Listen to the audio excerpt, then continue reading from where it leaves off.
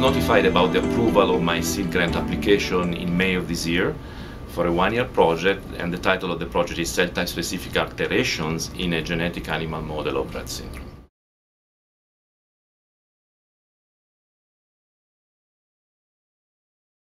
We are trying to study the, the, the, function of a gene that is called MECP2 in a specific neuronal population, which is called Caharian cells.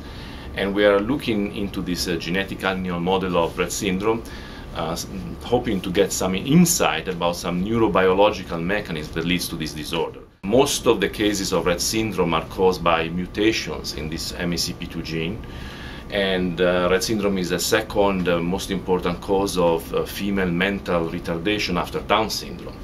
In this disease, you have a, a variety of uh, neurological conditions. Most often, what people believed was that you would have a normal development until 6 18 months of age, and then a, a devastating regression of abilities acquired, for example, in uh, hand use, uh, or some uh, or speech.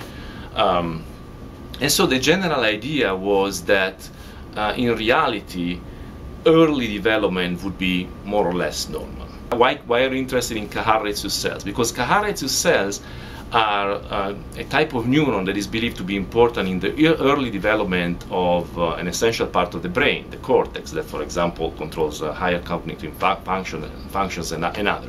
These potential early dysfunctions of Caharian cell set up a little bit weakened uh, early uh, cortex that then can be subjected to progressive uh, insults by additional neurons uh, that are not functioning properly because of dysfunction of these genes and then result eventually in the explosive uh, symptomatic manifestations of, of the disease.